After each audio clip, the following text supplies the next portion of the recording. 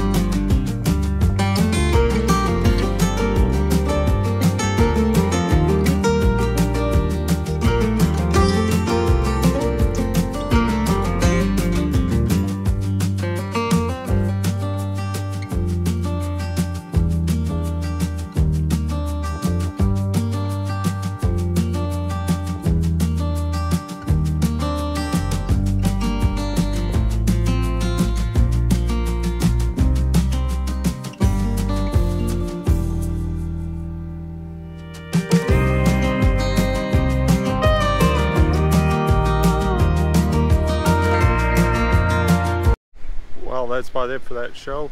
It's a pretty good show. Good turnout for a good cause. Thanks for watching the channel. Thanks for watching another video. We'll see you guys next time. I think we're going to go downtown right now after this and see what's going on. See ya.